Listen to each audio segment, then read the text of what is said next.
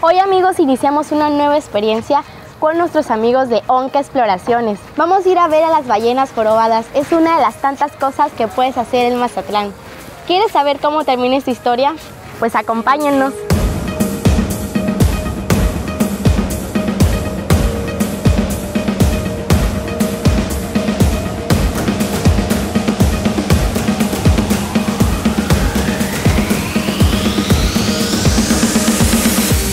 Cada año en Mazatlán nos visitan cientos de ballenas que embellecen nuestro puerto y nuestra bahía se viste de fiesta.